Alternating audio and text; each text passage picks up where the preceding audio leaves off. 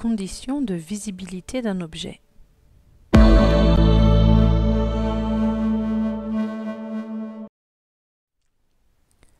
Un objet lumineux comme une bougie, une lampe, le soleil envoie de la lumière dans toutes les directions.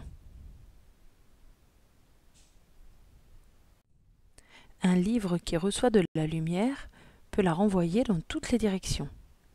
C'est le phénomène de diffusion.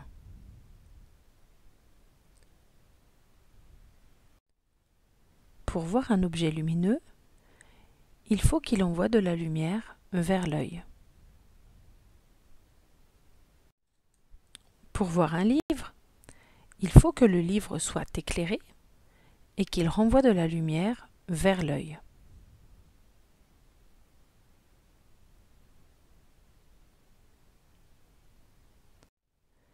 Mais que se passe-t-il si on place un obstacle entre les objets et l'œil?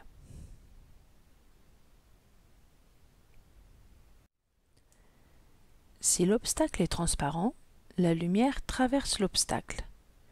On dit que la lumière est transmise. La direction initiale des rayons lumineux est conservée, l'image perçue est conforme à l'original. Pour un obstacle transparent, la quantité de lumière qui ressort de l'obstacle est globalement égale à celle qui entre, même si une faible partie est absorbée, diffusée ou réfléchie. La lumière peut être déviée par l'obstacle. C'est le phénomène de réfraction.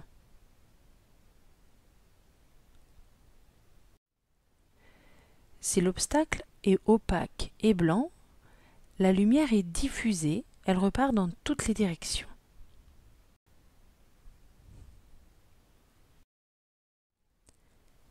Si la lumière traverse un obstacle translucide, elle ressort dans toutes les directions. L'image est partielle ou complètement indiscernable. Pour un obstacle translucide, la quantité de lumière est globalement égale à celle qui entre, mais la direction initiale des rayons lumineux a été modifiée. Si l'obstacle est opaque et noir, la lumière est absorbée. La lumière est bloquée, elle est absorbée ou même parfois réfléchie.